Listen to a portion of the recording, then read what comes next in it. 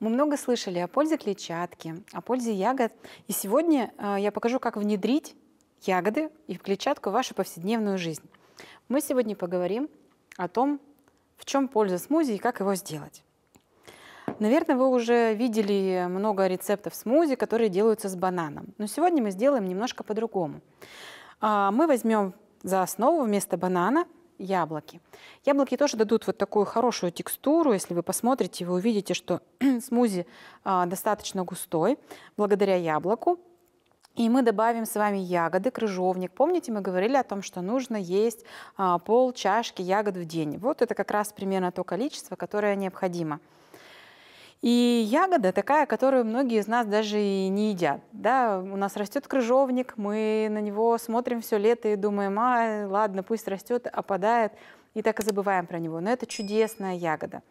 А, это чудесный целитель, который дал нам Бог, потому что в крыжовнике содержатся а, флавоны, антоцианы, и они защищают наш организм и как антиоксиданты, и защищают нас от разных болезней. Это и нейродегенеративные заболевания, это и заболевания сердца, желудочно-кишечного тракта, а, снижение уровня инсулина. То есть во всем нам как раз в этом поможет крыжовник. Это чудесная ягода, которую нужно обязательно а, употреблять.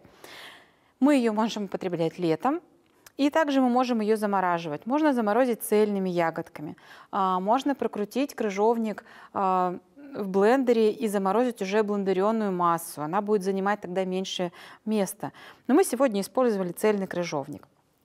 А если мы хотим, чтобы смузи не расслаивался, чтобы а, он был более такой тягучей текстуры, то мы добавим в него немного кураги, и эту курагу мы добавим точно так же, как и подсластитель. То есть, возможно, а, благодаря сладости яблока и кураги нам даже не понадобится сахар. Ну, кому необходимо, можно будет добавить мед, в принципе, он тоже есть.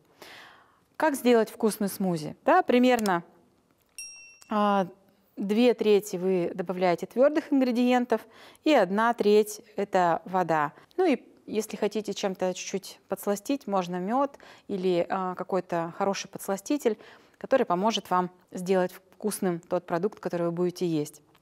И вот такой чудесный смузи у вас получится буквально за 5 минут. А, вы можете использовать любые ягоды, которые вам нравятся. Главное просто, чтобы они были у вас в рационе каждый день. Тогда вы будете здоровыми, красивыми и защищенными от множества болезней. Приятного аппетита!